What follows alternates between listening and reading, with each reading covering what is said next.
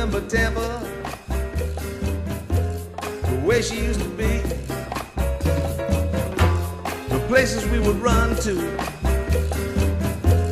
the faces we would see. Yes, I remember Tampa, those precious memories. A city rising on the move, a simple yet progressive groove. I remember Tampa, and she remembers me.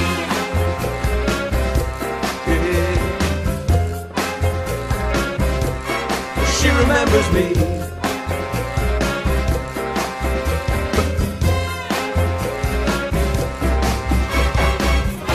Welcome to the Tampa Native Show. Stay tuned now for the fastest 60 minutes in cable broadcast history. Live from the studios at TBCN, the home of the Tampa Native Show. Join your hosts, Mario Nunez, the 15 Minute Girl, and Steve Canella as they celebrate growing up in Tampa. From Shock Armstrong to Shakey's Pizza, from Braddock Street to Buffalo Avenue. Get ready to call in and tell us your stories because sharing your memories has never been this much fun. And now, Mario Nunez, the 15 Minute Girl, and Steve Canella. She remembers me.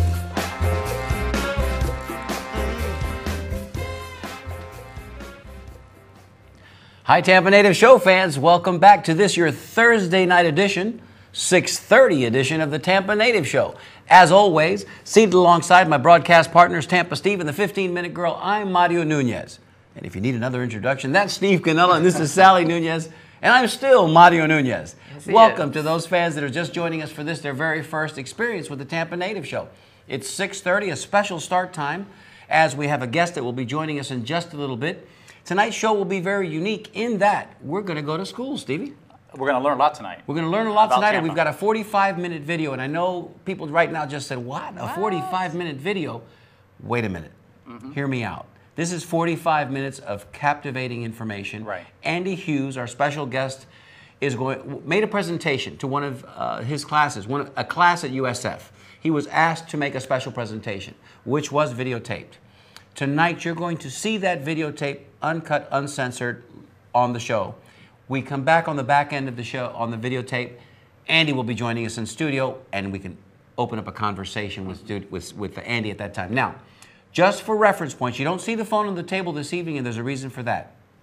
We want you to send your questions to us via email. Steve, as always, has his computer open up there at the desk. here. So make sure that you send us your email, your question, or your comment to Andy, and of course your Bolita drawing number. Stevie, what's that email address? You know, I think it's uh, good times at tampanativeshow.com. One more time. Good times at tampanativeshow.com. And darling, why is that? Because that's what we have here. That's Good what we have here. Good times, at times, the right? Tampa Native Show. Now, before we bring Andy on, before we show the video, and we're going to watch the video alongside with you, we're going to be taking notes, and we hope that you will be as well at home because you're going to need to. You're going to hear about some of the most interesting, captivating characters that ever walked the streets of Tampa and Ybor City It's a good word, characters. from, Yeah. let's say, the years 1890 to 1970s. Okay, so be ready for that. Uh, before we get to that, we have a couple of other things we like to mention. You know, this past weekend, on Sunday, we were at Festa Italiana. What a tremendous time we had there at Festa. We were all just south of 8th Avenue on 19th Street, kind of catty corner from the bunker there. And at first we thought, wow, they'll never find us here. You know, I mean, They we're, did. we're sort of, we're, we're way away from the stage and we're on the other side of the, the Mm-hmm. fresh fruit market, the, the vegetable market there. They're never going to find us. They found us, trust me. Our friends found us. We'd like to say thank you again to La Unione Italiana for uh, that wonderful opportunity to be there and promote the Tampa Native Show and, uh, let everybody meet us. And, uh, and of course, uh, we had some T-shirts there to, uh, to sell as well. So that was it was wonderful. Thank you. And hello to all of our new fans and friends that stopped by to see us. Mayor Bob Buckhorn stopped by in the morning, guys. Right, we got a picture Uh, said hello. Yes. We got a picture with him. We'll show you that in just a few minutes. Also, State Representative Janet Cruz came by to say hello. We put together a, a little video montage as we do here on the Tampa Native Show. Our IT guy, Steve Canella, did that for us. We'll show that to you in just a couple of minutes. Um, you know, uh, special shout out, really and truthfully, special shout out to Joe Skipper Abini, who got there early. He was there early and actually helped us kind of set up. He did. And, uh, and was gracious. He went out of his way. He went to the bunker. He bought us some breakfast sandwiches because he knew we needed that. They were Coffee? delicious. and some coffee. And thank you, uh, Skipper, for doing that. Your generosity is always overwhelming, and and he does it with a smile. And he doesn't want anything. You know, Skipper, can we pay you for that? Forget it. But um, He and was there before we were. and he, and he was there before we Yeah, were. he He was was. absolutely there before we were. Also, special shout out uh, to Bucky and Esther Delatorre, who came by, picked up two brand new Tampa Natives T-shirts, and at the moment that they were there, it just so happened that the 15 minute girl was on a break. So they didn't I do get breaks. 15 she does break, get breaks. Yep, she was on her break, and she didn't get uh, a picture of us with them, so they, they kind of didn't make the video montage that we're going to show you in just a couple of minutes. But thank you, Bucky. Thank you, Esther, for stopping by and saying hello and picking up your shirts. Let me show you that shirt while we're talking about it. This is uh, just about the most exciting thing to come down the pike. We've been promoting this for uh, the longest now. Look how good that Uh, looks. This It's is an blue. amazing, amazing, amazing uh, edition of of the Tampa. Here we go. Let me let me show you right here. The Tampa native.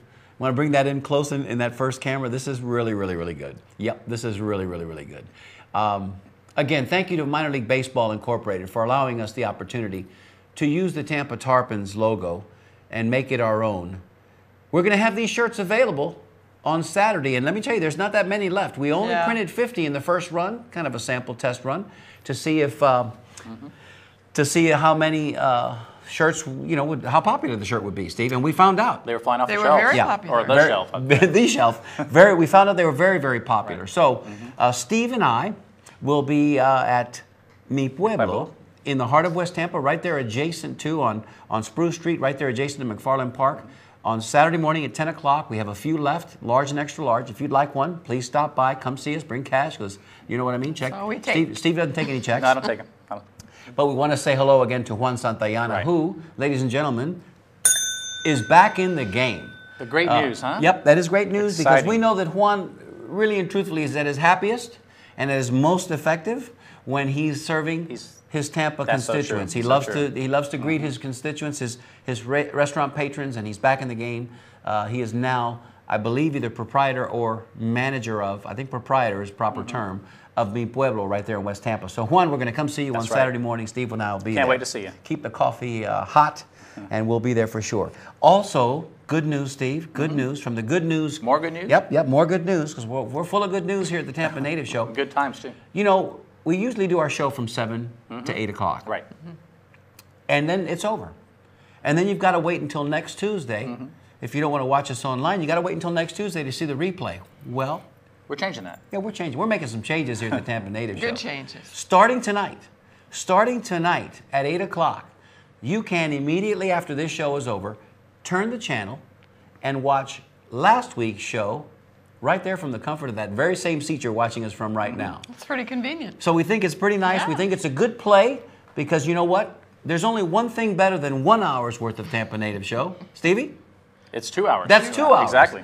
So tonight, starting tonight, if you're on Bright House, you've got to flip over to channel 30 949. 949. 949, Right, right. which is only one channel, right? Because it's 950. If you're on Bright House, you'll flip it over to 949. And if you're on Verizon, you'll flip over to 36. And also, if you get confused, just go to our website, which is, by the way, a great resource. Um, you can It see all the, the show schedule, the times, the channels, uh, not only for the live show, but also for the replay. Mm-hmm. Um, everything's on the, on the page. Um, again, check, check it out. Check you it can out. see It's the very sponsors. nice. It's a great, great resource. And Steve everything you want good to know about Tampa Good Natives job. Show is on the website. there you go. One stop shopping. What's It that is. website address, Steve? It's tampanativesshow.com, and that's two S's side by side. It's Plural. tampanativesshow.com. There it is on your screen right there. So, you know what? We are off and running in this new season, the 13th season. We just feel like we're gaining more and more momentum. Uh, two weeks ago at the West Tampa Women's event, we ended up meeting uh, with Oh, yeah. Ricky T. Parnell there. Ricky T. Parnell came and he gave us this 8 millimeter film. He said, You know what? I picked this up. I'm not exactly sure what's on it, but I can tell you that uh, I think it's something important and I think it's something having to do with Tampa Natives history. So, what we're going to do is when our guest joins us in just a little bit, Andy Huse, we're going to ask him, how can we get this transferred over perhaps to DVD and then we'll check it out? Who knows? It might be a Gasparilla know. A parade. anything. It could be just about anything. Yeah. But he knows that it's vintage, and, and that's what we appreciate about our, our fans out there and our constituents, Right. that they're out there looking out for us. And he picked this up, Ricky T. Parnell. Thank you so much for sharing and Thanks, for Ricky. thinking about us. Real can't- quick, Yeah. in the category of Pepe Lubabo. We talked about him about four weeks ago. Pepe Lubabo. This is what we know about Pepe. Uh, Pepe was just more than an urban, le- urban legend. He was actually a real life character, a real life human being, a real life character. Mm-hmm. person that lived in Ybor City. A mentally challenged a man, adult male, that uh, as we heard from Richard Medulla when he called us, he told us that Pepe Lubabo, what he did was he would take a, a notepad and a pencil and he'd walk into the various storefronts in Ybor City and he'd walk in as he was pretending to be a bolitero and he'd get some uh, bolita numbers and he'd scribble down some, something on the uh, page and, uh, and that was kind of how they knew him. Well, beyond that, we also know that he either brought with him a broom or he was provided a broom by the merchants there on 7th Avenue and he would sweep the storefronts. And the merchants would then offer him, uh, you know, some change as a stipend for his for his work, and uh, and he did that all up and down Seventh Avenue. Uh, what we're looking for with Pepe is, and we think and we know that Pepe is a nickname for Jose, which is Joseph in Spanish. What we're looking for is what was his real name, what was his last name, what was his given name. Uh, we're trying to find that out. So if anybody out there knows the story of Pepe Lubabo, uh, Pepe Lubabo in Ybor City, circa 1950s, 60s, and 70s. We'd like to hear from you. Stevie, you know, we have a comment line, We do. and that comment line is set up for those of you that are watching out there that don't get a chance to either get your emails read online, perhaps the phones, when we have the phones on the table, you don't get a chance to call in. we want to hear from you. Let's give you that number now in case you've forgotten. It's 813 920 2508. That's our comment line. 813 920 2508. You see it right there on your screen. And that's designed for you to call in if you've got an idea for a future, a future show or somebody out there that we need to interview and have on as a guest. We need to hear from you. and you know, Or that- just to leave something nice about or leave a what comment. what you you. like Right. about the show. Thank you you, darling. Or to leave a complimentary Awesome. message. by the way, the uh, that phone number is on the website too. Everything's on the Everything's there. IT guy is all over that website tonight. Let me tell you, man, he's been staying up late working on that. So Yeah. after the show and after the replay, if you'd like to, go to that website and have a look around. There's a, how many pictures are on there, Stevie? On the on the website, well, we have access to over 1,200 photos. Over 1,200 Yeah. photographs.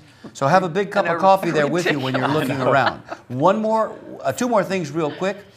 Uh, today marks, today April 10th, Yes. marks the 66th wedding anniversary of one Philip and Carmen Nunez. Hey. And if that name sounds familiar, it should because those are my parents. Mom, Dad, happy anniversary. Happy anniversary. very nice. 66 years, you We guys you. have come a long way, baby, and you got more to go. So hang in there, because there's uh, we got more stories to tell. That's And- fantastic. It And, really thanks is. for having me somewhere along the way, because otherwise the Tampa Native Show wouldn't be here. But mom, dad, we love you. Te queremos. do. And uh, and congratulations, 66 years. That's Have fun. that's quite an accomplishment. One more thing, Cuckoo Cachoo, our favorite local uh, local origination band, and what a show they put on, Steve. They Oh my do, gosh, yes. yeah. Rodney. Justo, Great Robin musicians. Sibukow, Roy Garcia, and company. They'll be performing tomorrow night, 9 p.m. at the Hard Rock Cafe. We will be there. If you'd like to join us, come on over to the Hard Rock Cafe, 9 o'clock. You might want to get there a little early because they do Yeah. pack the house. To get a table. Yeah. You They're very need to get good. there early. Very good. 9 o'clock, Cuckoo Cachoo, Hard Rock Cafe. We can't wait to see our friends there. Stevie, you want to introduce the video, man? You put it together. I'd love for you to introduce the video. yeah, that'd be great because you know, as Mario mentioned earlier, um, we had so many people come by our tent at We Festa did. Italiana. Mm-hmm. So It was fun. when there was with the 15 Minute Girls camera at the ready, uh, we took, took a lot of of photos. Yeah, we did. Yes, we did. In fact, I went to your Facebook page to, to download them all. Yeah. Created the video, added some music that Mario kind of picked Great out. music, It was though. We Great picked it out music. together. Great, great Yeah. Italian, Music. classic Happy Italian music. music. Couldn't have Yeah. been any better of, of a song to go with this video. So, um, Becky, if, without further ado, let's go ahead and play the video, Festa Italiana. How about that? 2014, Festa. Italiana. Yeah.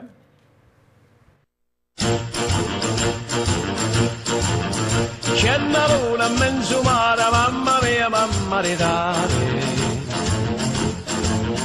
Figlia mia, cosa dare, mamma mia, pensaccia tu.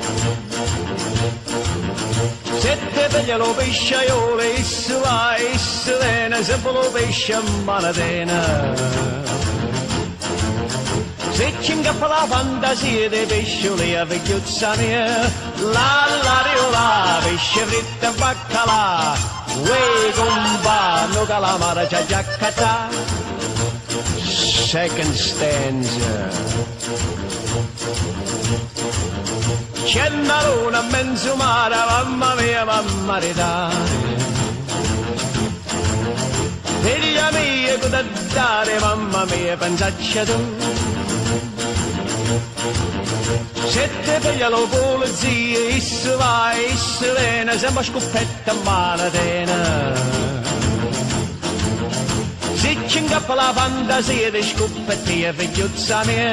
La La la giaccata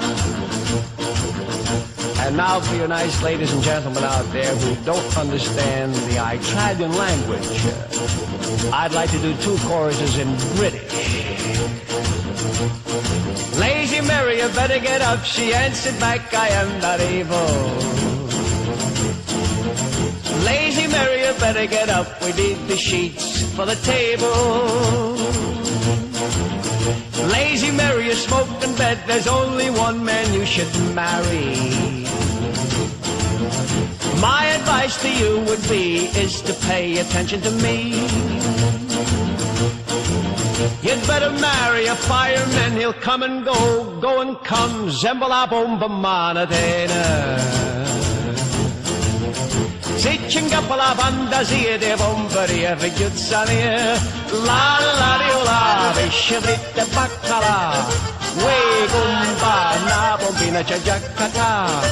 Oh gumba, gamme voglio marità. Trovamma la vagliotta, gamme voglio marità. Trovamma la vagliotta, gamme voglio marità. Trovamma la vagliotta, gamme voglio marità. Hey! How can you not just bounce around? Everybody's gotta be happy now. Everybody was And bouncing dancing, too. here on the set. Everybody was bouncing around in their seat. That's a, that's just a happy song. song. It's a great song. So thank you, 15 Minute Girl, for taking those wonderful, wonderful photographs. She's always at the ready with her camera, and uh, and Stevie, thanks for putting Oh, that no. together. Yeah, It was great fun. job. It was a It was a good, good time, and thanks Yeah. for all those that stopped by to say hello. It was a great time, and we're going to do it again next year. Mm-hmm. And hopefully, between now and then, we'll get a chance to do maybe another event here locally. Never know. All right, we're already almost 16, 17 minutes into the show, which is longer than I had anticipated doing at the very top. But we are going to now shift gears, uh, and we're going to call up the video with Andy Huse. And again, it's, it's a 45 minute video. So you're going to be sitting there for the next 45 minutes. You will not be bored, I promise you. If you need to take a potty break, go ahead and do it now because you're not going to want to miss what he has to say. Um, when we come back, Andy will be joining us in studio. We'll have questions for Andy. We'll probably have about 30 minutes left in show, 25 minutes left in show at that time.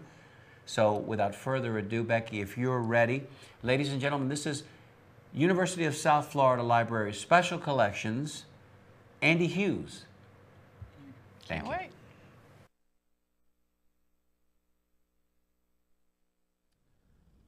I didn't know when the Florida Museum of Photographic Art came up with their exhibit that they were going to name it after pirates and gangsters. And I think that to some extent, pirates and gangsters have kind of become kind of lazy shorthand for Tampa's history, and that it's it's much much more interesting than um, those two kinds of characters would give it credit for. Um, so, I guess first uh, I have to define my own terms as far as what is a rebel. Um, now, I'm not interested in armed insurrectionists or cessation uh, people interested in secession, like in the Civil War, but cultural revolutionaries. You know, every society is. Uh, really and culture is defined from the inside by the establishment and from the outside by its by its outcasts and rebels. So for me um, pirates don't work because pirates they never lived here in the tampa bay area um, and really not much in florida. Uh, gasparilla or jose gaspar is um, is a mythical creature. He was made up and he was made up by the elites of this town in 1904. So to reflect certain things about Tampa's establishment.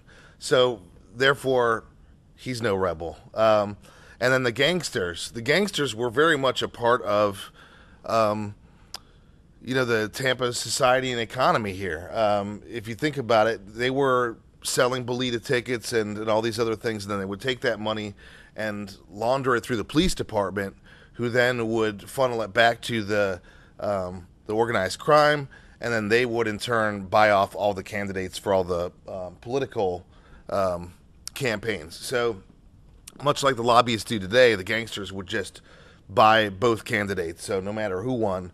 So the gangsters were just really interested in money, but if anything, they were very much part of the structure here, uh, the power structure. And um, I find it unusual that Tampa spends so much time kind of chuckling in its sleeve about gangsters when, really, if you think about it, the the the consequences um, of all that corruption are still with us today, um, and have I think ham- hampered Tampa's development um, in a big way. I mean, if you know we're the Sin City of the South in the 1940s and 50s, and all these gangland murders, you know, who wants to relocate a business there, uh, et cetera, et cetera. So, I think. Um, uh, maybe it's time that we get past the gangsters and we get past the pirates and um, uh, get on to other things. Now, if you want to look at people who really bucked the trend here in Tampa, you'd have to look at people like your labor organizers. Um, there was a couple guys in the 1930s. They were they were tarred and feathered for organizing um, labor demonstrations here, and they both died um, as a result.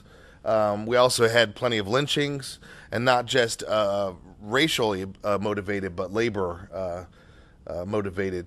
We also had plenty of uh, civil and human rights activists. I mean, I think uh, if you really want to get into rebellion, you can talk about the civil rights movement. You can talk about people like um, James Hammond, Clarence Fort, Robert Helen Saunders, people like that.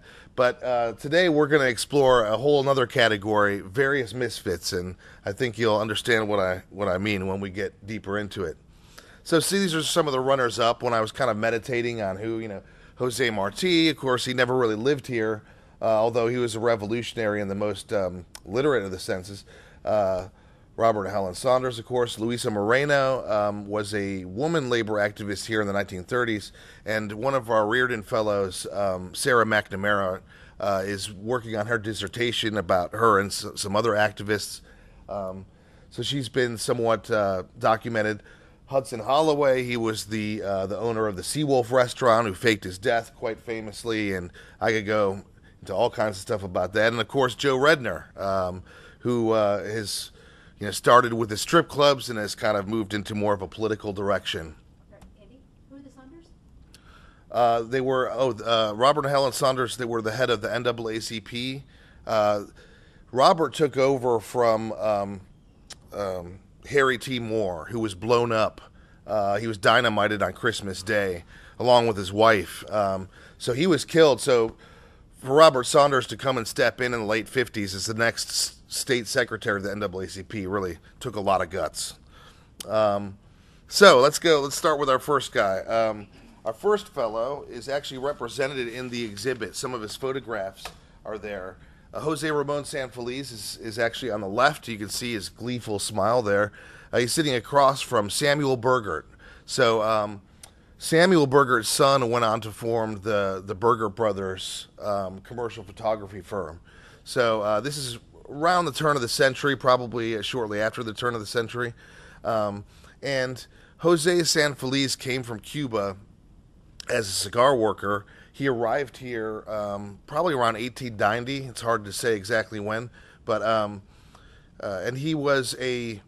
Uh, in addition to being a cigar worker, one of his hobbies was taking photographs.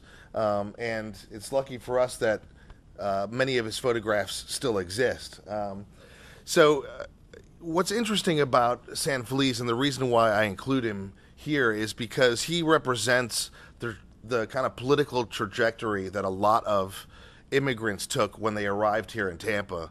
Uh, many of them arrived from places like you know Sicily, northern Spain, Cuba, all places where the people had really been politicized by um, privation, uh, by oppression, war, things like this. All of them had gone through similar kind of traumatic experiences as a result of the Industrial Revolution and political uh, things. So you know, he arrived as a political firebrand. You know, he he wanted to take down the cigar producers and uh, power to the people and all this stuff. And um, he was very active not only in the Cuban independence movement here in Tampa, um, and Jose Marti, of course, was uh, was a big representative of that when he came to town, but um, he was also really into the uh, the labor movement here. And what's interesting is what happens to him over the, the next 30 years or so. In 1897, there was another big strike that stopped all the work in the cigar factories. So he he did what a lot of people did. They just hopped on a st- steam uh, ship and went back to Cuba. The problem was in 1897, Cuba, Cuba was being completely torn apart by its uh, its war for independence. Uh, if you were to get somewhere in between the Spanish and the Cuban sides during that war, you would be, uh, you know, you'd be killed or imprisoned in very short fashion. So he found that the situation in Cuba was no longer to his liking. Um, I actually have a quote here. He said, uh, uh, when he took his family back, we found that we could no longer endure life in wartime Cuba, as we had become too accustomed to the life of comfort and ease in Ybor City, and that we, which we could not find in Cuba. So, um, dictated by uh, you know by his income and his family's comfort, he, he came back here to Tampa, and at that point, he started to take a lot more photographs. After this point, um, and I think it's it's probably because he decided to kind of cast his pail down here and, and make this his new permanent home. Um, and what's what's so interesting about it is that when he finally collected a lot of these photographs into a collection and made an album out of it, it's who he gave it to as a gift. He gave it to D.B. McKay. Now, D.B. McKay, um, if if you don't uh, know about him, he was a uh, four-time mayor of Tampa. Um, he was the editor of the Tampa, I believe it was Tampa Daily Times and um, uh, and was just a power broker. He was also kind of the head of this um, oh uh, committee of vigilantes. Anytime there would be a labor stoppage, a strike at Ybor City, these people took it upon themselves to um, get on their horses, grab an axe handle, and go to Ybor City and start cracking skulls. Um, you know, whenever the cigar industry lost money, lost money, the city of Tampa lost tax revenue as a result. So people like McKay took it very personally anytime somebody would go on strike. Um, sometimes they would wear white hoods when they rode. Sometimes they didn't wear white hoods, but um, they were always up to the same thing. And the thought was was that um, the workers were easily led. They were sheepish, and if you just got rid of the agitator, um, uh, the the labor leaders, then everything would be okay. So this shanghaiing people. Um, there was a couple labor leaders who ended up on the coast of Honduras after being um, shanghaied on a ship and thrown on a beach in the middle of nowhere. I had no idea where they were. So this kind of stuff happened all the time. So it's rather interesting that our, our man Feliz, uh, San Feliz, gave D.B. McKay this album as a gift. And I think it shows how long in 30 years it, he went from being kind of the revolutionary firebrand to being a good American man, you know, who wanted to, uh, who had things to protect. You know, he wanted to protect his family, protect his job, et cetera, et cetera. And although he, he went all around the country doing work, uh, all different kinds of work, he always, you know, used Tampa and Ybor City as his touchstone. So, although he's not the wildest of the rebels, I think he represents a much bigger, um, uh, something much bigger than himself. And what's so I guess, uh, so valuable about his work are pictures like this. This is a picture of a soup kitchen. Whenever the workers went on strike, there would be things like uh, uh, they would put up these soup kitchens immediately. Now, someone like D.B. McKay would never deign to point a camera in the direction of any of these people. I mean, first of all, you can see they're they're uh, they're dark skinned, and they, they represent something that's uh, that Tampa's establishment is extremely hostile to which is labor unions. And even today, there's sort of a divided history, you could say, um, uh, depending on which side you ask about uh, what parts of Tampa history are um, uh, the most interesting. But uh, he was one of the only people, I think these are some of the only pictures of, of Tampa kind of uh, labor activities of that era that we have. So this is before the, um, the turn of the century, uh, really important. So, uh, uh, moving on, let's get into some more revolutionary territory. Uh, and we're going in that direction with Mr. Marcelino Arguelles. And now I do, I'm, I'm, pretty certain that his first name is Marcelino, or was. Um, he, uh, he grew up in Spain. He was a surveyor by trade, uh, and he, he got an illness at some point in middle age. And uh, unfortunately, I don't have a picture of him. But he, he eventually started reading up on hydrotherapy um, and when we tend to think of hydrotherapy, we think of baths and all these things. And really, we think of water, but most of the time, it's simply using water as a vehicle for heat and coolness and things like this. And it's a way to um, to heat and cool different parts of the body. So um, he he uh, ended up treating himself with hydrotherapy successfully, and when he had uh, some there were some ailments in his family. He did the same thing, and, and every time he treated them successfully until he had people coming to his door, and he was spending more time on hydrotherapy than it was on surveying, so he ended up giving that up. He moved who knows why he moved to uh, Tampa in 1906. A lot of revolutionaries uh, kind of tended to um, coalesce around Tampa for whatever reason, and he opened up a practice in 1906, a naturopathy clinic.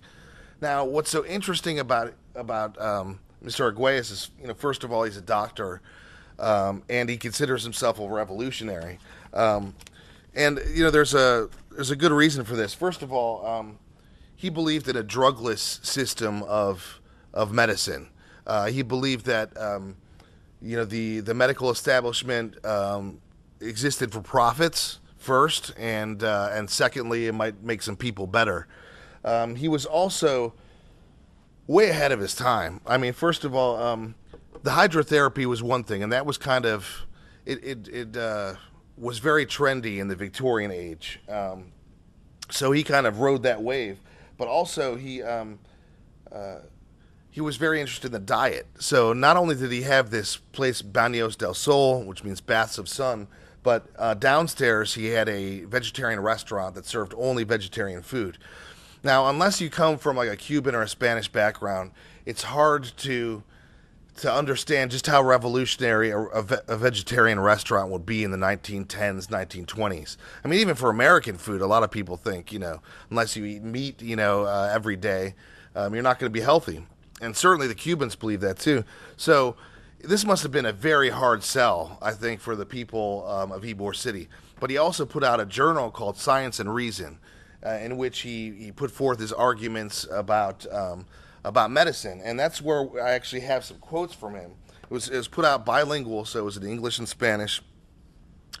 And he said things like this um, We know that the vested medical interests are not only waging war against us, but that we are, they are also conspiring against the spreading and propagation of our doctrines. Because we ardently desire the triumph of truth, we are asking the intelligent people of this fair city to cooperate with us in this glorious fight against the forces of error.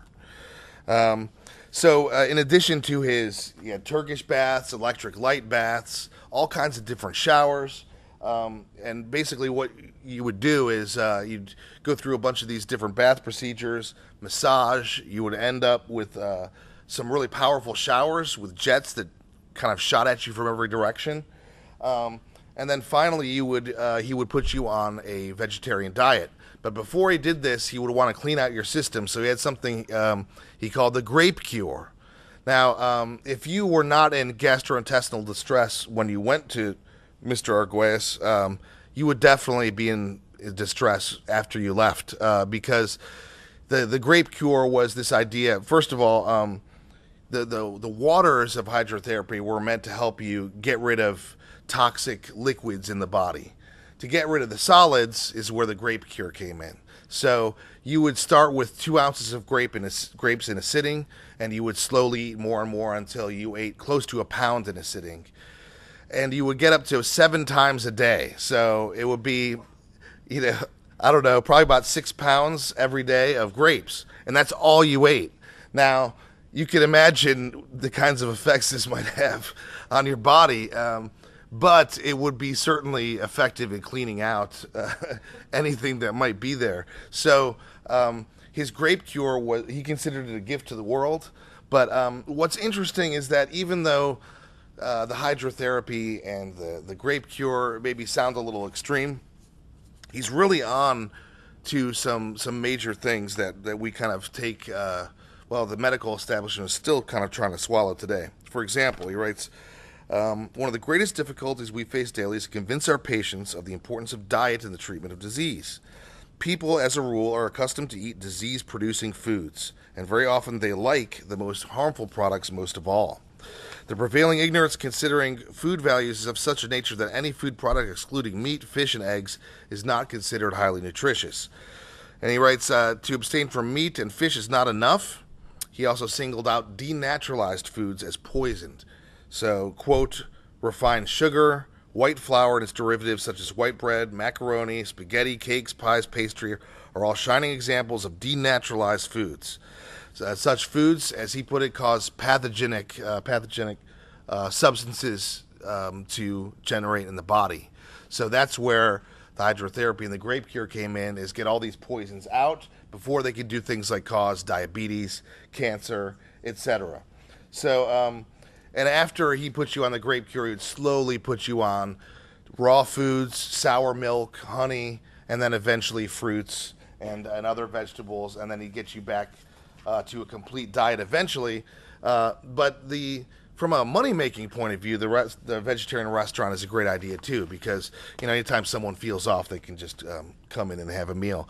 I wish, wish, wish I had a menu for that restaurant.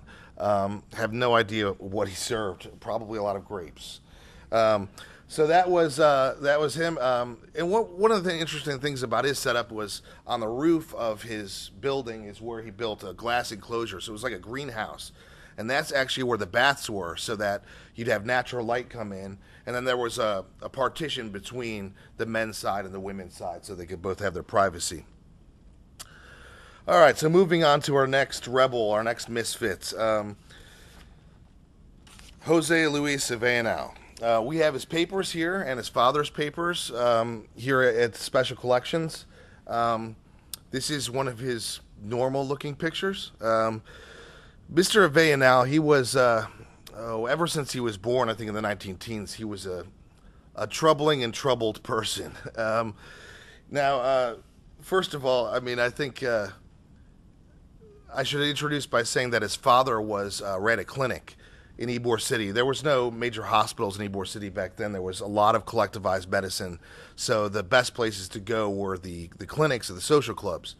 So his father ran a clinic, um, and uh, I think in some ways he wanted to follow in his father's footsteps, but didn't want to go through all the work involved.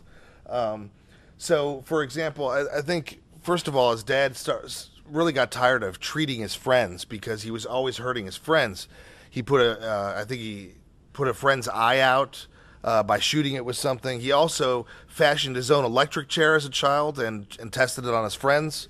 Um, so that was more people going to his father's clinic. Finally, his father um, had had enough and had kind of locked him in his room, and he escaped. Uh, stole his father's car, but I think he was like seven or eight years old and couldn't even drive so he didn't get very far, but eventually he ended up in, uh, in a military school in Georgia. Um, and after that, um, he's his uh, reputation just kind of got wilder and wilder. Uh, he was arrested in Tennessee, uh, apparently for drugging a woman and perhaps taking advantage of her. Um, it's it's kind of unclear. But after that, he was very paranoid about this.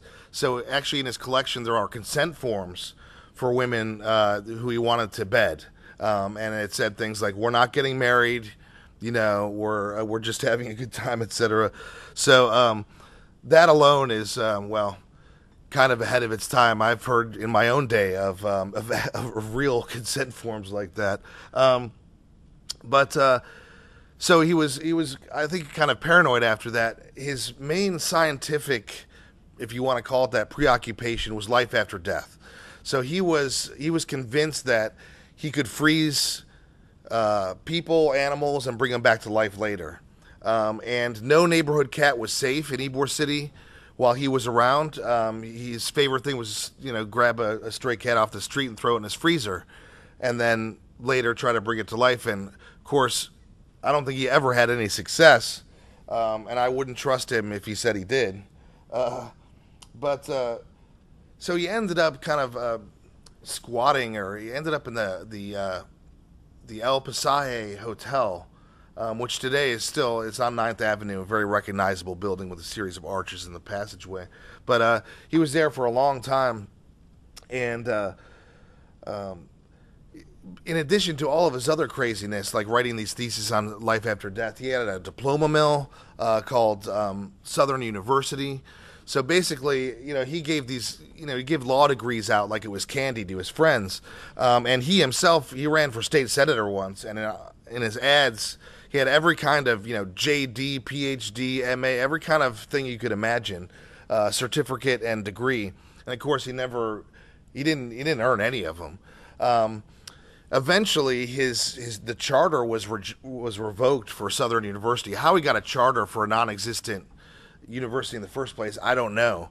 But um, I think later on there was a court case about it, and he quickly tried to draw up some uh, uh, schedule of courses and try to get some people who said they were instructors. So that's represented in this collection as well.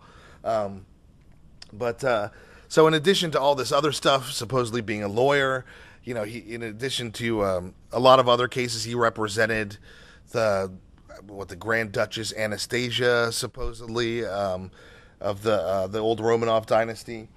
Uh, he also claimed to be a gynecologist, a plastic surgeon, um, and one thing that we do know he was he was just incorrigible uh, with women, and uh, he ended up um, uh, also starting something called the Pan American Alliance, something like this, um, and it was a it was a real trumped up organization where they gave out uh, all kinds of awards to people. So for, they singled out, of all people, for one of their awards, uh, Fulgencio Batista. He was the dictator who came before Castro. So um, certainly didn't uh, d- didn't um, deserve a, a humanitarian award. But uh, anyway, Avellanal was just a, a crazy character. Later on, subsequently, some of these ghost tours and things online have said that he was a serial killer and he, you know, uh, lured women to his father's clinic where he'd murder them and put them in tubs of acid, and it's all just a fiction made to sell ghost tours or whatever. But he did kill a lot of cats. So, um, so moving on. Oh, here's another picture of our Avellanal very much very much into the occult. I think he really wanted to impress women. He had this mystic room with, you know, black candles, crystal balls, the whole bit. So I think that picture kind of says it all. So moving on, some of the people who have been around Tampa longer may remember Jim Fair. Um, you know, as we as we're going along, we're going away from kind of the farcical stuff into stuff that really touched a nerve here in Tampa, and Jim Fair certainly did. Um, he was born to a well-to-do family, part of Tampa's elite, uh, the Ferrier family. Um, he ended up. Uh, he went to Plant High. He was voted most, most likely to succeed in all this stuff. He was a real social butterfly. But something happened um, during his service in World War II. He was uh, he served in the Navy. His ears were completely shot by uh, serving on battleships and other ships like this. Have constantly have cannons go off, and I don't know if a screw got loose somewhere or something. Um, while he was, while he wasn't crazy, he wasn't right with the whatever you know the situation was, and inst- he, he quickly uh, during the 1940s and early 50s really got tired of the country club uh, atmosphere, um, hanging out with all these elites, and completely reoriented oriented himself and started a business downtown called the Salvation Navy. Um, this was just a couple blocks from the Salvation Army, and you could get a hot meal. You could get anything. He had a huge library there of like 40,000 volumes. It was all leftist type literature and stuff on labor and things like that. Um, and uh, it had none of the trappings of the Salvation Army, meaning if you wanted to sit down and have a meal, you didn't have to pray with him. You didn't have to say that you were Christian. You didn't have to say that you did anything wrong. Um, so it was no surprise that the homeless people and people who really needed help started to flock to the Salvation Navy instead of the Salvation Army. Um, now he had a, a, huge warehouse just just full of stuff, and one of the things that he did for his whole life, I think, was just compulsively collect things and then give them away to uh, to anyone who would find them of value. So, um, uh, the other thing that he was really well known for for his whole life, uh, in addition to collecting all this garbage and stuff, was um, lawsuits. He he uh, must have filed thousands of lawsuits here in the state of Florida, maybe beyond. I don't know, but um, he was constantly uh, scrutinizing city plans and things like this. So, for example, one of the causes that he got into was this. Um, I think there was a new bridge they were planning to Davis Island and some rights of way and stuff, and he saw that there was a lot of property owners that specifically were going to benefit from the project.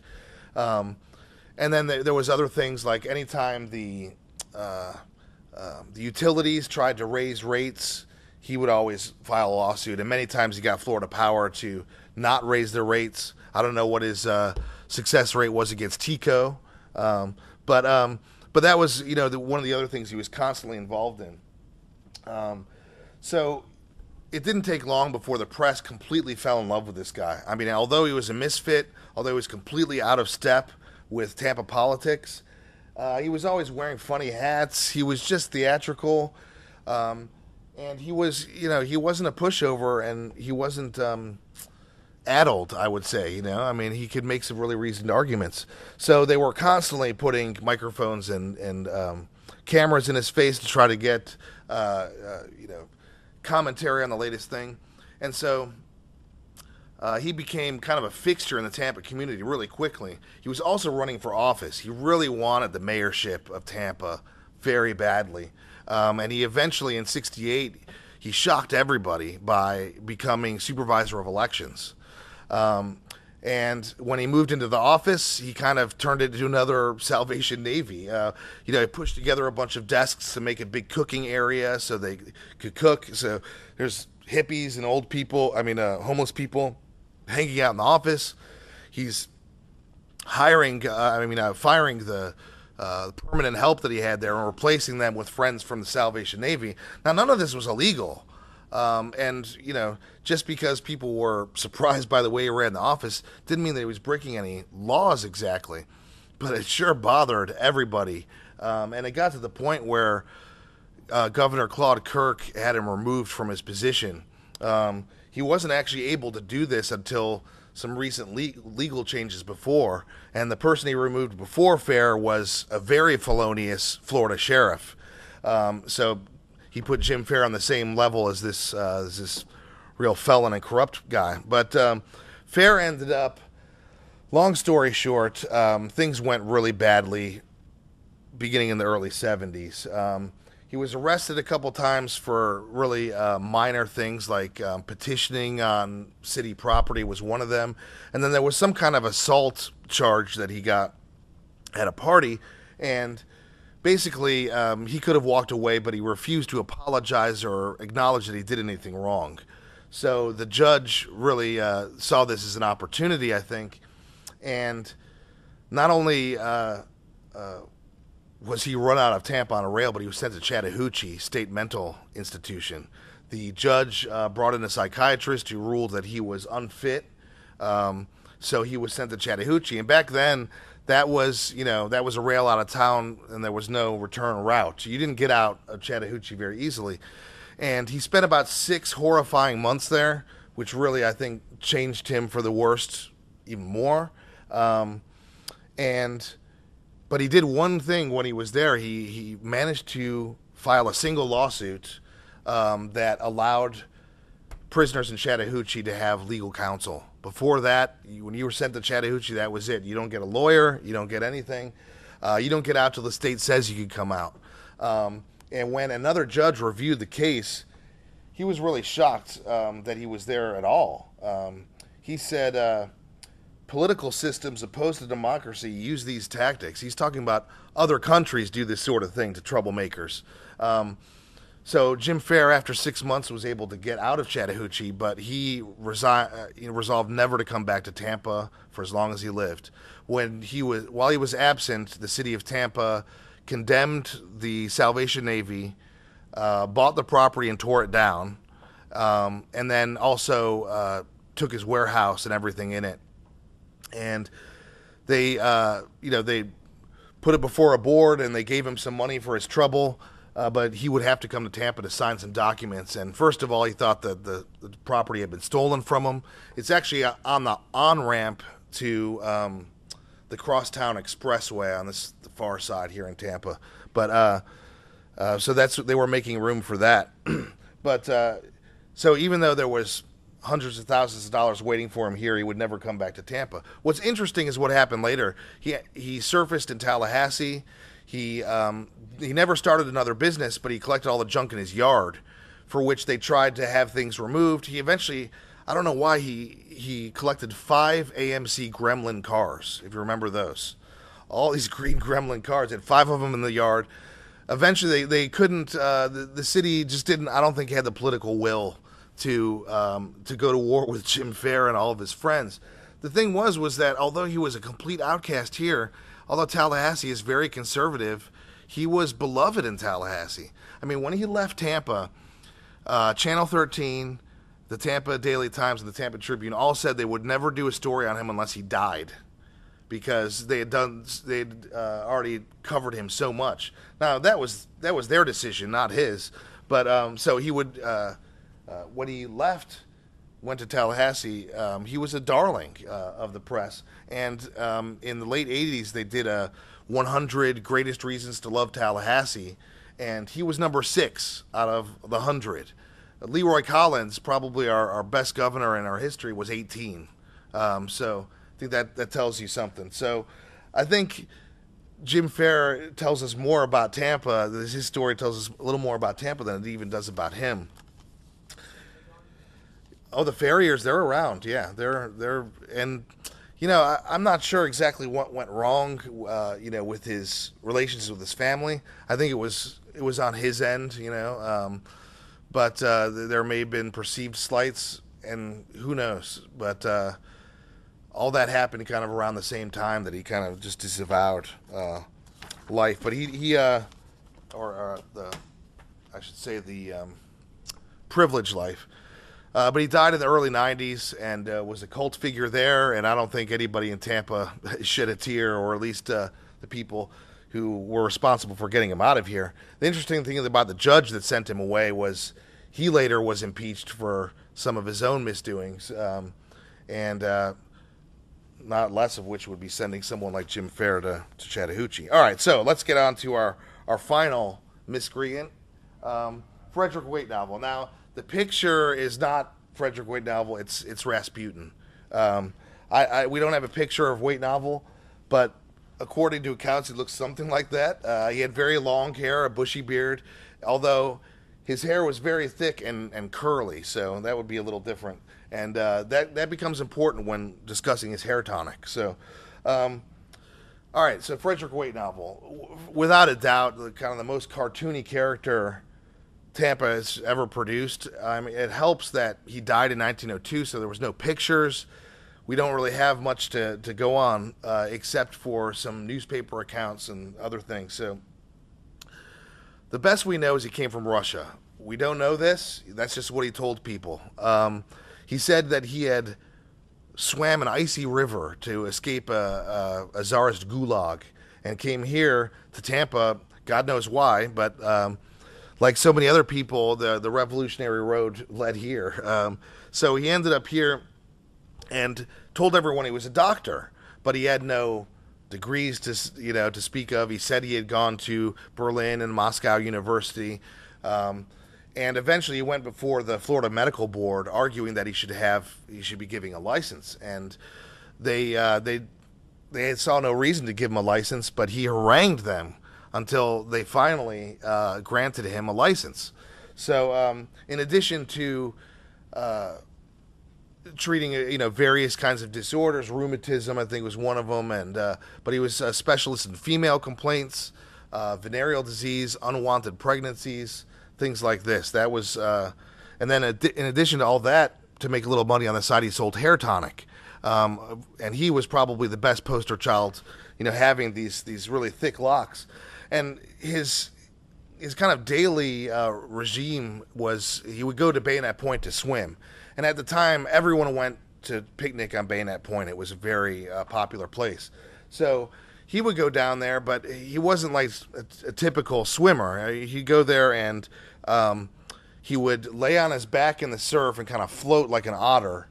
He'd have a cigarette and he'd have a newspaper, and then he'd have a plate of oysters like perched on his chest, and he would sit there and read the paper, smoke, slurp oysters, and um, and then of course when he got out, he'd shake his locks everywhere so everyone could see how you know glorious his hair was and everything. Um, and so he made quite a spectacle of himself that way. Um, but then that was really just the beginning. Um, he ended up squatting in Old Fort Brooke. Fort Brooke wasn't really a big fortification. It was like a, an oversized house, I guess. But um, uh, he ended up squatting there after it was decommissioned, after the Seminoles were no, no longer a threat. And he lived there with a bunch of other squatters. And at some point, the city was trying to get them out of there. Um, they couldn't get them out. Eventually, as a, a, kind of a defiant gesture, all the squatters elected Weightnovel mayor of Fort Brooke. And he renamed it Moscow. And they said they were their own city. You know, uh, Tampa had no jurisdiction anymore, etc. Um, and uh, you know what's interesting is that although he got this reputation as such a kind of incorrigible character, um, there was a lady uh, at the time who lived just outside of Tampa, Julia Daniels Moseley. Um, she's a very proper woman. Um, she did not hang out with uh, oh, unbecoming people, and her quote was, "I shouldn't like him often, but once in a while I enjoy him very much." So he sounded like one of those guys that you could take in moderation, but um, so he did a lot of things here in Tampa. In addition to starting his own um, medical practice, he also started uh, something known as the Humanist League. Um, humanism was kind of big in the 1900s as an alternative to Christianity, as a worldview, where you um, you espouse certain natural, universal natural light, uh, rights, human rights, things like this. Um, so uh, he started the Humanist League, and they had a parade uh, in Ybor City, and I just the float um, was so subversive. They had a horse-drawn float, and they had Lady Liberty depicted on the back of the float, but it was a black man dressed in drag. Now they got away with that in Ybor City, but if they had gone down like Franklin Street with that getup, uh, I think they probably all would have been thrown in jail or who knows, maybe lynched. Um, the other uh, organization he started was the Free Love Society.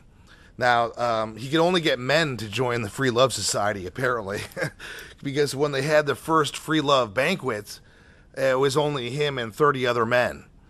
Uh, but uh, all the servers were African American women who were naked head to toe. They had this uh, this event at the old Habana Hotel in Ybor, which had these really long, full length windows, like most of the buildings back then. And so anybody walking by could see what was going on. And course after course was being uh, fed to these guys. They all arrived like with pseudo military attire and these colorful sashes and all these medals that meant nothing. Um, and uh, so they're eating a course after course, and every course was laced with a different kind of aphrodisiac, supposedly. So I'm not sure how Weightnovel thought this feast was supposed to end but um, it never did come to a conclusion because everyone was arrested. Even the people in Ybor City couldn't take this kind of effrontery. Um, you know, even an anarchist, uh, you know, could could be uptight about something like this. So he was thrown in jail, and that wasn't the last time. Um, the last time he was thrown in jail was um, because a well-born woman named Irene Randall came to him for an abortion. Um, she was impregnated by her who she thought was her fiance, but he ended up leaving town. So uh, she came to to Weightnovel, and this this establishes an important uh, idea here. It's mainly the well-to-do people that are using his services. Poor people couldn't afford to, you know, couldn't afford an abortion most of the time. So, um, so for that reason, he harbored a lot of really important secrets for people, and when uh, he was eventually he was arrested when Irene Randall died. Um, I'm not sure if it was internal bleeding. Um, people uh, think it was a it was an infection of some sort, but she ended up dying about 48 hours after she had her abortion, and uh, he was arrested. And um, the first trial was was the trial of the century. I think it was 1899 or 1900, and uh, he um, he was acquitted. It was a hung jury they retried him again, and this time they, they really wanted him, I think, in a bad way, and um, eventually uh, he was uh, found guilty. But in the interim, he lived in jail for quite a while, and he had the run of the place. Um, apparently, he was impossible not to like. Um, so all the jail guards liked liked the guy. Uh, they left his cell door open so he could come and go. He had a valet at jail uh, who brought him borscht every afternoon to eat, and um, you know, he spent his time devising whirligigs to fan himself and his locks in jail and all this stuff, and um, wore these duck skin coats and was very unusual. Anyhow, uh, his his stay in jail ended on a sad note because he was he was sentenced to ten years of hard labor Um, and he was already in his 60s. He wasn't in good health. He knew there's no way he was going to survive his sentence, so his orderly brought him a, a cyanide capsule and he committed suicide. Um, that was in 1902. So, um, and now Weightnovel, if you look his name up, um, I don't know what that name is, by the way. It's not Russian. His middle name was Leontief, which I guess sounds kind of Russian. Um, but uh, if you look up his name, he he's on lots of ghost tours uh, on the internet, and you can still see his shadow supposedly in the sh- in the windows. But uh, ghost tour, no ghost tour, it's a fascinating story. Um, and what was interesting was the judge said um, when he was sentenced that if his ledgers, uh, his uh, ledgers for his practice, were made public, they would just rip the society, uh, the fabric of Tampa society apart. Er, you know, nobody would uh, escape without egg on their face. So. Um, so certainly a fascinating guy. So just to recap real quick, um, we talked about Jose San Feliz, the one-time revolutionary, and his photographs. We talked about Dr. Arguelles and his revolutionary hydrotherapy, and especially his uh, his insights on uh, the human diet.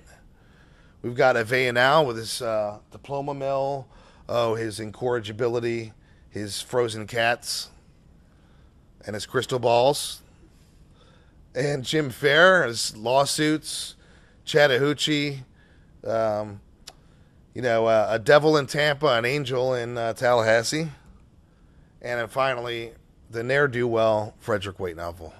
So if you have any questions, I'd be happy to answer them. Thank you.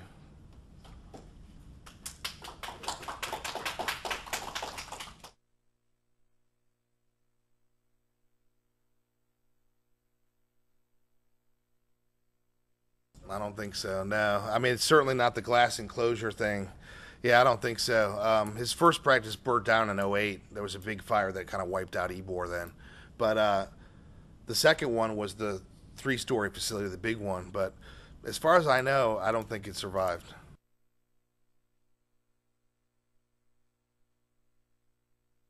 Um, well, let's see here. Uh, San Feliz, um, he died in 56. He was born in 1870.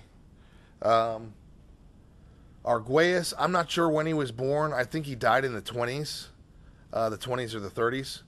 But um, yeah, it's it's hard to say. That would be, but that would be around the turn of the century. Avellanal uh, was born, I believe, in the teens, and then he died like in 1980, somewhere around there, the early 80s. And in his older years, he looked like instead of looking like I don't know dervish, he looked like a generalissimo. You know, he had all the medals and all that stuff. Jim he died in '92. He was born, I think, also in the teens. And then Weightnovel, he died in 02, and we have no idea when he was born or where he came from.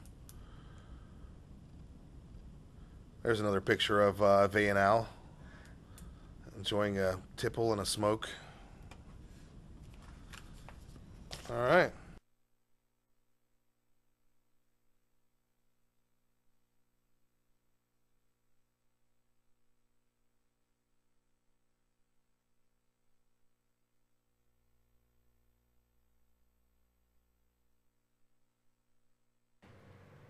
Well, ladies and gentlemen, welcome uh, back to the Tampa Native Show, the live version. And Andy Huse is now joining us in studio. We'd like to thank you for indulging us while we went through that 45 minute presentation. And we realize that some of you may have joined uh, that presentation in, uh, in midstream, so to speak. And absent of context, you might have been wondering who is this guy and what did he do with the Tampa Native Show? well, we started tonight's show at 6:30, and Andy uh, you know, joined us in that presentation at about 15 minutes in. So forgive us, but we hope that you're still with us. Uh, and curiosity got the best of you, and of course now you're back to the table and the 15-minute girl, Tampa Steve, and of course Andy Huse. Andy, Great. That man, was great. great. for coming. Thanks Thank for coming you. back. First Thanks- of all, thanks for having me. Thanks for sharing that wonderful presentation, and we want to jump right into uh, talking a little bit about that because it's the second time that I saw that video, but the first time First that time. Steve Right. and Yeah, I Sally have to had watch it seen again it. because Fascinating. There was some conversation at there the table. There was table. somebody talking. Yeah, there was some conversation at the table, but it's so Right. compelling. Um, we want let's talk a little bit about those characters. Of course, you did the research uh, you know, you have the USF Special Collections, and, and we should let everybody know that's where we know Andy from. Andy is with the University of South Florida Library Special Collections, so he's been. Uh, uh, he's been an integral part of helping us connect with that group over there and being able to archive our shows and working with Barbara Lewis. And if we have any questions about uh, Tampa in, in a historic uh, perspective, Andy's our go-to guy. So that's you know that's where we know Andy from, and he's been on the show with us before tonight. Uh, we're digging in a little bit deeper, drilling down a little bit deeper, and talking about these eccentric characters. I personally uh, was. I think we should pick our favorite character. you want to do that now? yes, I, I have. All right, uh, ladies first. Maybe you go. Okay, my favorite character is uh, Marcelina Aguer, Aguayas. Very good. Uh, and for reasons? For the reasons that uh, way back in the turn of the century, he was a vegetarian. He had a vegetarian restaurant, and he was a purveyor of his own, like uh, modern day uh, massage therapy. You know, like a health spa. Exactly. Which that's amazing to me. Very much ahead of his time. Yeah. Stevie, how about you? You know, I'd have to say Jim Fair, really, because I, I remember as a child, my Sure. parents talking about Jim Fair. I really didn't know who he was or what he, what he did. But after, you know, watching tonight, um, I could tell that he's, he was basically an advocate for the poor. He was very um, uh, instrumental, in, or he cared about people, you could tell, Yeah. by having the Salvation Navy. And, uh, but anyway, he was just an interesting character, and, and I remember him as a child hearing my family talk about him. I about remember him. him well. Very controversial from what I remember. Yeah. And my turn? It I'm going to go with, uh, gosh, this was this is a toss up. This is a toss up because Avellanal, as eccentric as anybody could possibly imagine, with his crystal balls, as, as you heard uh, Andy mention, and of course, you know, there wasn't a cat that was safe in Ybor City during uh, his adulthood. Uh, and he did it all, man. He, you know, from electrocuting his uh, childhood friends, uh, you know, to doing some pretty bizarre things as an adult. Uh, the diploma mill, certainly. But squeaking him out at the finish line, Sir Frederick Weightnovel. Yes. This is a guy that, uh, you know, he, he goes beyond counterculture, counter revolutionary. I mean, you know, he's the kind of guy that compelling. Oh my goodness, so likable that even though he was in jail, you know, he, he probably had the keys to the jail cell to hear the story the way Andy told it. And again, I wrote down a quote here that says it all about this guy, Frederick Weightnovel. Uh, the lady who was uh, of uh, upstanding stature in the community, when asked about Mr. Uh, Weightnovel, uh, was quoted as saying, I didn't like him often, but every once in a while, I enjoyed him very much. I mean, that's that's all you need to know about this guy. And of course, he was practicing medicine without a license, which was, you know, not something uncommon back in those days. But uh, we do have an image. Now, that image that you saw of Frederick Weightnovel was Rasputin in that particular Yeah. Dissertation, in that discussion.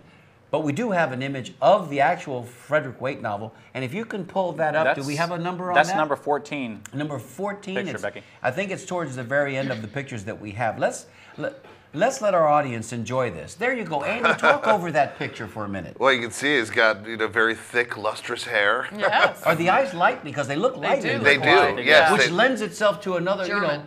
That Right. whole kooky look into my eyes, you're getting sleepy thing. No, they look quite blue. Actually, Yeah. it's it's hard to say, but they're they're probably blue. And Yep. uh, yeah, no, I, somebody sent me this photograph after I gave that talk, and I was like, whoa, you know, I was Yeah. not expecting to see a photograph of him. So uh, yeah, certainly, um, Definitely a character. yeah, Well, absolutely. look at that hair, man. Right. Coiffed. Right. The beard was spectacular. The And hair then he was had the coiffed, but the beard was really wild. Well, it was it was trimmed though. It had that sh- it still had shape to it. Right. And he had, uh, dare I say, I'll stop at the water's edge, a sort of Manson-esque look to him. Right, right, right. right. Well, he's, he's definitely got a, a look in his eyes. Yes. Yeah, for sure. The eyes had it. Yeah, no, the Wade Hypnotic novel is just such an outsized character. Um, Physically, what was his stature? Was he a bigger? He didn't look like a big, big man. no, he Hard to doesn't. I tell. don't think he was especially tall. Right. Not a lot of other details come out about, um, Mm-hmm. uh, you know, about his physical appearance, but. Uh, um, you know, I, I've always fantasized about uh, like a show like Deadwood Yes. being Oh. written about Tampa. We You know, And, And and man- at the center was be Frederick so Weightnovel. Right, he would be one of these characters Yeah. like Yep. that would just bring out the best and worst in everybody, probably. you Let's know? write that show. A whole screenplay centered around him. If you've Right. got time, listen, we've got time. We need to fashion out that screenplay That would be amazing. That would make a great story. You Yeah. And just call it Ybor City, Frontier Town. Right, Yeah. There you go. There you go. Well, you know, we also have other photos. You want to run through Yeah, those let's do here? that. Let's let's go ahead and do that. You want to call them up in any Yeah. specific order? You Well, want to call them up in the order of the uh, that we discuss them? You know, San Feliz first. Let's do San Feliz first. and There that you would go. be, Call um, those numbers since you have them there in front of you. That's going to be number 15, uh, Becky, and then we'll go back to number one from there. There you go. And this is a, again the photo that we showed during the uh, Right. the Right, class. yeah, and this is the inside of the Mr. Burgert studio. So the Burgert brothers were, were his children. So Samuel Burgert, um, he would be on speaking, the on the correct? right. Figuratively speaking, or or actually his children? No, actually his children. Oh, they were? Yeah, they were brothers. They were his sons. Yeah. Oh wow. Okay. Yeah. Okay. So uh, yeah, uh, Samuel Burgert was the elder, and uh, you know he was a commercial photographer too, too, but not to the extent like his sons took pictures of all the buildings Yes. and stuff. I think it was like if you wanted to go into the studio and get your picture taken. Portrait style. Yeah. Right, Yep. but later on they, they were much more mobile and they would take pictures all over town. Mm-hmm. So that's how we've got the, the treasure that's known as the Burgert Brothers. Possible file. that in the 1920s, uh, teens, 20s, and 30s, if you were a, a young fa- a family with, with kids and you wanted to have that proverbial portrait taken, Right, he right. might have been the one that you went to to go have that done. Right. San Feliz Studios. Right. But the Burgert Brothers, and they were plentiful. There were like five or six of them, weren't there? Seven of them. There was. There were a bunch of Burgert Brothers. I don't know if there was that many. I think there were there was only two that I know of. Because I thought I saw. No, I, I honestly Right. thought I saw a photograph. We'll talk about this later, Andy. But. I, I thought I'd I have saw to a look photograph. into it. Yeah. Anybody out there knows definitively how many Burgert Brothers there were? Uh, Well, Dan think we- Perez comes we to mind. to Send us, Facebook. send us on an email. Right. Yeah, Uh, that information on an email. I thought I don't know why I thought I saw a picture in the 1940s, Right. and there were like five of them, boys, obviously brothers, Right, right. but a band of brothers. What's the next picture, Stevie? Call for it. Well, number one, we'll start with uh, Jim Fair. We'll run through those. There's uh, about four of them. Right. Is here he's looking more uh, dapper. You know, Yes. More respectable. Conventional, uh, Semi-normal. conservative. Uh, right. He's ish. probably going to court or something. Yeah. Yeah. yeah. They dressed him up. And not not because he's you know in trouble, but probably because of one of his many myriad lawsuits. Yeah. Correct. He wasn't, you know, he just, the, the the establishment didn't really take uh, Right. too kindly to him. They Right. didn't really have any affection for him. Right. That's a great photo, also. Mm-hmm. Absolutely. And one of his many hats. One of his Red, many white, hats. and blue. Patriotic, Right. right? Oh yeah. Okay. There he is again. Well, that's just it. Nobody could call him a pinko or anything. He Right. Mm-hmm. served with you know distinction in the war and everything. so- Correct. Freedom Fair. Yeah, there he is at the Tiger Bay Club speaking. Freedom Fair. This is my favorite. Yeah, I like that too. This is probably towards the end of his life, you would say, a little bit? yeah. you know? Oh yeah.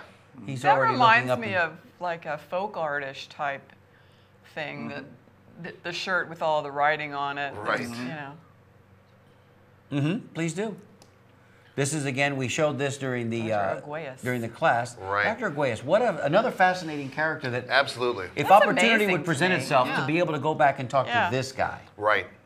Absolutely. I mean, and I just I'd love to know more about the menu. Like Yes. we talked about it Sure. earlier. Did Yeah. they did they try to make it appealing, or was it like here's oats Here's or some whatever? lettuce. you Eat- know? have a Here's good, a good day. carrot. Have a nice bowl right, of oats. right, or whatever it is. I Uh, bet it was. I bet he. uh, here's a young picture of our, of uh, Van Al. This is a va- we've, now we've you can, switched over to a you van can now. see that kind of cat killer look in his yes. eyes here. The eyes tell the story. Yeah, right. Again, this is a different look, man, because you had the blue eyes with Weightnovel. Right. This is a little deeper, man. These these Right. these kind of the other ones were That kind looks of like a troubled aloof man. a little Yeah, bit. he This- just these burn doesn't right look through like you. a nice boy. he No, looks like he's no. very No. pissed off that he's at. Well, Then he got caught He put his friends in his the friend. electric chair. That's Then he got a nice caught boy. and pulled his other friend's eye out. Well, he was, you know, it was for the science fair, I'm sure. Right, right, right. There he is again. And here, I mentioned that I thought here he was a combination between Bela Lugosi and Harry Houdini. What's going on there? yeah, yeah, they, Yeah, a yeah, bit. I he's get a definitely little got Houdini there. He's definitely got those eyes, kind of deep Yes. set eyes. Yep.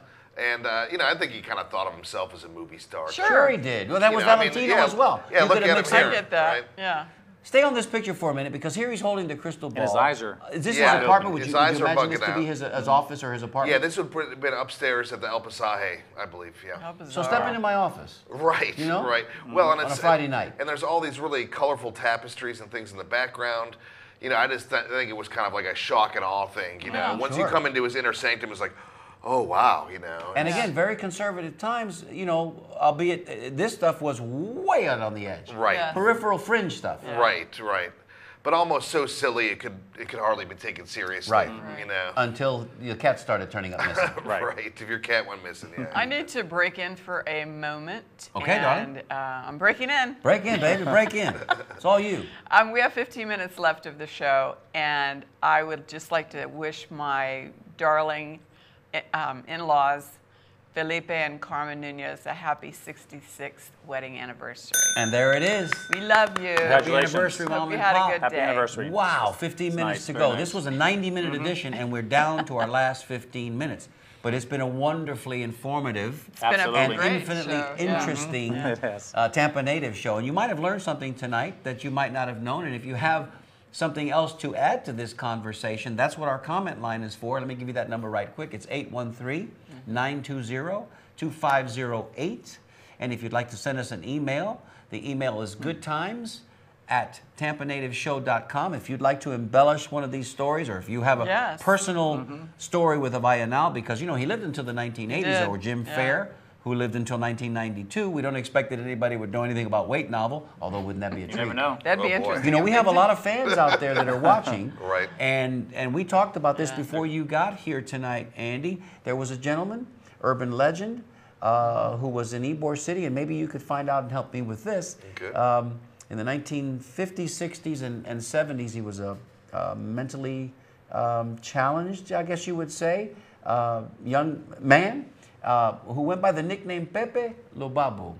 And Pepe Lobabo, interesting story, um, used to take a broom and sweep the storefronts. And, uh, and he would be, you know, receive a little stipend from the store owners, and they would kind of usher him along Seventh Avenue. And but we're trying to find out more information about him. We talked about him four weeks ago on the show, and you know, one of our uh, fans called in and gave us a little more detail. What we'd like to know is uh, what his name, what his name is, uh, his birth name, his given name, Right. and if we know any more information about him. But Sure. we know he existed Right. just like Weightnovel. Right. And we know that he was uh, developmentally challenged, and but he was taken care of. You know, of course the kids were mean to him, and if they'd say, "Hey, Pepe Lubabo," he would chase them with the broom, and Right, people right. remember that about him. Right. But we don't know any, any anything else about him. So. Uh, Andy, continue on with uh, with those guys that we were talking about a minute ago. There was Arguelles with his. Right. I, don't think I'll ever eat a grape and feel the same way about grapes again because that grape therapy No. must have been right, something else. Right. Yeah, I can only imagine. I mean, he said sometimes he'd Seven leave times a day. someone on it for for a week, a couple weeks sometimes, and I just I oh can't imagine. No. Seven times a day How, and- they, how You do they have anything left after that? Right. Exactly. I mean, I figure after a couple days, Yes. you're you're, You're done. done. Yeah. You're done. Yeah. and you're- then you have to leave there and get on a horse to ride home. Man, How about that one? I don't know. I think Ah! he, he might be side saddled. Ah, yeah. Yes, sir. Andy, that, that presentation is amazing. Um, uh, what did it consist of as far as how, how long did it take you for one thing, but also did you go out and interview many people or no, no. I mean, uh, it was all at hand in special collections. really interesting? So, How you know, valuable is the special Special collection? collection. Right. I mean, Yeah. yeah. without uh, repositories like that, we Yep. wouldn't we wouldn't know anything, especially in a town like this, I know. Where you know half the half of our past is all blacked out because we're protecting somebody. Yes. yeah. Um, but uh, yeah, no. I, and the thing We're was, trying to get I, through it that. didn't really take a lot of time to put together because I'd always been kind of a fan, you know, of these crazy stories and stuff. Mm-hmm. And um, I've spent so much time doing my, my food research and you know and, and kind of tackling these bigger subjects uh, that you know these guys kind of just uh, went by the know- wayside for a long time and then I was asked to give a talk and I was like hmm I want to do something but I don't want to do the same old Yeah. Right? and then you know um, the the photography museum had their their exhibit, and so I wanted to kind of go around their theme rather than talk about you know pirates and you know and kind Mm-hmm. Regular of talk stuff. about the Topic. same stuff Yes, that we hear ad nauseum. Exactly. Yes. Um, rather that you know that I wanted to kind of pick some people that we might learn a few things about. Excellent. Tampa and have a good time. More know. did we. Yeah, have And a you good time picked some great ones too. Right. I think there's still maybe some others out there. Oh, you know, there's Yeah. well Joe Redner. You know, he's, he's Well, there's- his own chapter. Right. You know, and Joe uh, Red is still around. So right. if we needed to talk to him, you know, Absolutely. and again, he's another one that I think has been misjudged or maybe mischaracterized. Right, Yeah. right. And You another know? one who fought a lot of legal battles early Yes, on, and whether yeah. you agreed with, you know, his business or not, you know, Correct. everyone has a right to make a living. That's exactly right. Um, so you know, I think that's an, that's another interesting one you could go with, or you know, someone who's made my restaurant book is uh, Gene Holloway. Yes. We all remember an- Seawolf. Come on yeah, now. a real crazy Oh, character yes. too. We all remember that. Uh, but that was a little too easy, you know. And I What was the craziest part about Seawolf, Andy? Walking into his restaurant and the eight-foot grizzly bear who welcomed you, Oh, no. Right. the eight-foot, No, the live, live uh, uh, leopard. or the Right. leopard that he had. I think the craziest thing is just forget all the animals. The restaurant itself was was constructed of wood that was imported from all over the world. Yes. It's just the kind of restaurant nobody builds anything like that. Right. Correct. And and nobody builds anything like that with a with an eye towards making money. You're not going to spend that much money No. on something. So that Yeah. That's that an was- eccentricity oh, that it lends was itself to the It character was of the person. somebody's dream. So Yes, it, to yeah. me, uh, that's that's what's so amazing is just you know the Tiffany stained glass, all the other stuff. It was just you know at his peak. You know Holloway wasn't interested in kind of aping or uh, or, or Or mimicking what was he- going what on. was He going wanted to on set at his- Busch Gardens. set his mark, He absolutely. wanted he wanted to, Yeah. to, to forget Busch own Gardens, theme come park. to Seawolf. You had the Right. Safari restaurant, the Voodoo Lounge. right. You know, kind of in keeping with the theme, a little bit of, of uh, the Dark Continent and, and what was happening. So Right. he went the other way. He just went Right. completely the other way. And I think, well, Stevie, I know you got something to say, but I think that's also the beauty of what Tampa has given us Right. over the years. Right. Tampa has always been a place where if you had an idea, Right. you know, you can come here and make your mark. And even if you were one of these eccentric characters that was just a little bit off the beaten path, Right. you were okay here. You know, as long as you didn't get too kooky. Some right. of them were way off the mm-hmm. beaten path. No question, but but that's also led to the tapestry Right. that we've also grown so very fond of. Steve, you Yeah. had a question? Oh no, I was just going to mention about Seawolf. We, we actually have a couple photos of those. Do on we the have one tonight? Not not tonight, but we It's have on one on the Facebook. Facebook Do we have any Yeah. photos Yeah. that we haven't shown tonight? Because we really don't want to leave any out. Becky, did we get through all of our photos? Because I know we're getting close to the end. I know we got a few couple crazy. more. Here we All go. right, look at this Just one here. one. Yeah, the, the cigarette holder. I Yeah. love it. Yeah. What's Avellanal doing here? I think he's trying to impress. Yes. You know, and he's got his white face makeup on too. So, you know, it's just. Looks he's like an old Hollywood theatrical. movie. It you does. know, again, It does. Rudy Valentino with, with his long cigarette holder. Right. And who knows what's in that cigarette? Yeah, I don't know what he's drinking there. Or smoking. Yeah. Well, oh, Or smoking. Right. Did he have a lot of friends?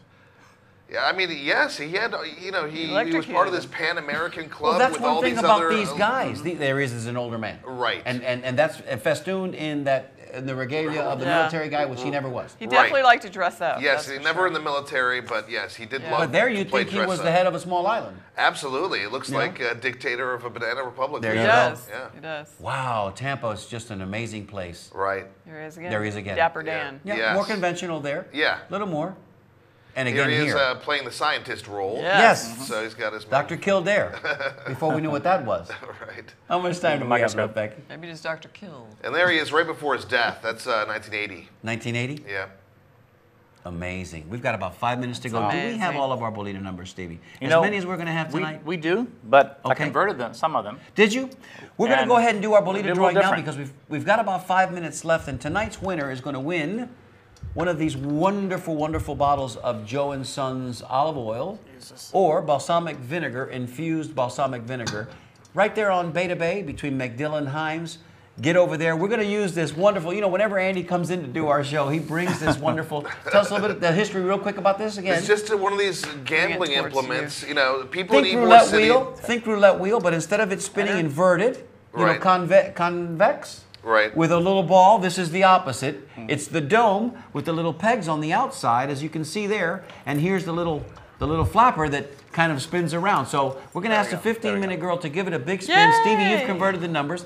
We're on it with camera four there. Beautiful. Don't you have to worry about I think that, I'm- Stevie, I think because I'm blocking. Are we ready? Nick will bring our camera in and work that for you. Ready? Donna, give it a good spin. There we go. Closest to without going over. Zoom in on that number right there and let's see what that number is. That number is. Oh, Oh, my goodness. Sudden death. Are you serious? 15 minute girl? Try it again, Darling. Give it darling. another spin. Come on, Vanna. I love this machine here. Oh, this is great. All right, Stevie, here we go, Papa. Not Three. again. Three. Without Three. going over. Do we have a three? We, we, uh, usually we Joe You know again. what? Let's take a look here. We have so far seven and 11. Looks like it's se- seven.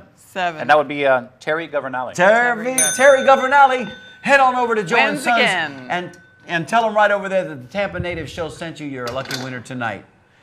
Hey guys, we've got just a minute or two left. I want to say, Andy, thank, you Thank so much for making Yeah. the Thanks effort for to having come in tonight. We're gonna come back. Oh, yeah. You know, we, this is just this is an ongoing dialogue that Yeah. we're going to course, continue to have with you. We want our fans to get to know you just as much as they know us here. Well, So when they see- congratulations on all your press recently oh, too. You Oh, guys yeah. have gotten a lot of good press We too. have. Thank so you, Andy. I've gotten a few calls, and you know, uh, That's and, we- right. and we appreciate you They singing. only our, they only printed the nice things I said. we appreciate you singing our praises, and we know we can count on you. And we love the fact that we are in partnership. You know, it's Yeah. a team Absolutely. effort with the University. you of guys South are doing great work. I want to spend you, a whole week there at the. Uh, I know. I was going to say collections. we Right. could find We need to get over there. We need to my get sleeping over bag there. and just stay there again. Well, maybe The whole week. sometime we'll bring a camera in and give you a tour. Oh, that'd be We got an idea. Yeah, that's a great idea. You get permission to do that, we'll bring the camera Oh, along. I got permission. I'm there all the time. And come on. Andy's got the keys to the shop. Listen, everybody, let us remind you that right after this show's over, in just a couple of minutes, after we roll the closing credits, you can flip over to watch last week's show that starts at 8 o'clock. Verizon Channel 36 and Bright House 949. So you only have to flip over one channel. Um, gosh, fun. this has been a lot of This is a fun. fun show. New mugs. Guys, Yeah, what do you think great. about this? Can you bring me in on camera one and tighten that shot up there, Nick, if you would, just to show this off real quick? That's pretty neat. Bring that in back on that tight shot. There you go. How Look about at that? there. I love that Pretty fish. good stuff. Remember, we're going to be Saturday over at uh, Mi Pueblo in the heart of, thank you, Nick, in the heart of West Tampa. And we're going to be, uh, we have our shirts there. I've lost my earpiece and I got to get the countdown so I know when to do our Uh-oh. salute and happy days. Live TV, Andy. it's a beautiful thing. Hey, did you have fun tonight? Absolutely. Thanks for Great. having me. You know, you're always a compelling speaker, and, and Yes. one thing we know about Andy, you know, even though he wasn't born here, he got here just as fast as he could. Right. And we've adopted him as our native son because he, like us, fancies all of this good He stuff does. that Yeah. He we call Tampa history. Right. And, uh, and, and he's got all of that at his disposal. And the best part about Andy, he's got a big heart and he shares with us. So Mm-hmm. Thank you, Papa. We Thank you. Thanks that. for making the Yeah, trip in lots of here. respect. And uh, and the next time you whip up a pot of whatever it is you're whipping up over there at the house, man, call us. Okay, I'll do that. Because we'll come in and sample some of that with you. Hey guys, great show, huh? Well, It that's flew great. by. Yeah. 90 and a half. minutes just Can't like believe it. that. The presentation was very, very good too. it was awesome. Let me remind everybody, let me look at my notes real quick, make sure that I'm uh, I'm not covered forgetting anything. All right. Maybe wish your Oh, tomorrow- parents another happy To- no, anniversary. tomorrow night. Let me let me remind everybody. Tomorrow night, Oh, that's Cuckoo right, Cuckoo yeah. Is going to be. In case you weren't here at the top of the show, Cuckoo Yes. Cuckoo is going to be uh, at Hard Hard, Rock. Rock. Cafe tomorrow night at nine o'clock. They put on a hell of a show. They do. So if you're available and you're looking for a good time, get over there and see that. Stevie, will you put the video up on our website? That'll be up uh, actually probably by tomorrow morning. That's the one from Festa, correct? um, that one too. Yes. and the one from Festa and- as and- well. And for tonight. And next week, if I can pitch next week's show real quick, next week we're looking forward to having uh, City Councilman Charlie Miranda in studio. He's going to bring a special guest with him, and we're going to be talking about Tampa Bay Downs and horse racing. That'll be a so great horse show. racing fans, be there with us next week. That'll be a lot of fun. Charlie Miranda in studio. Thirty seconds to 30 go. Believe it. All right, let me say, on behalf of Becky 15 and Todd the entire production team, thank you guys. Thank we you love guys. You. Yes, we do. Tampa Steve's sitting right over there. Here's our 15 minute girl, and right there's Andy Huse. On behalf of everybody here at the Tampa Native Show, I'm Mario Nunez. Salute and happy, Happy days. days. We love you, Tampa. Back when we were younger and everything seemed new. We used to have a lot of fun, yes we did. No matter what we do. Sleepy days, long summer nights, going anywhere we please. With love that I could call my own, love that I've always known, the city that I call my home, a home from which I never roam. This love affair was meant to be. I love her and she loves me. I remember Tampa, oh, she remembers me.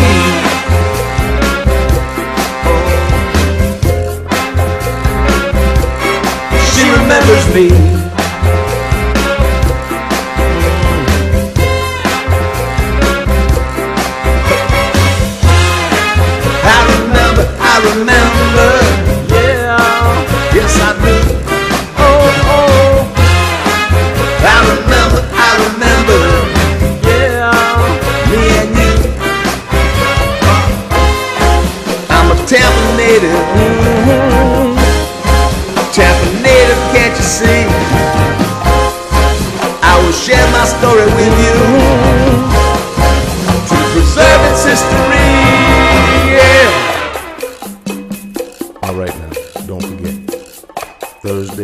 7 p.m. on TBCN, home of the Tampa Native Show.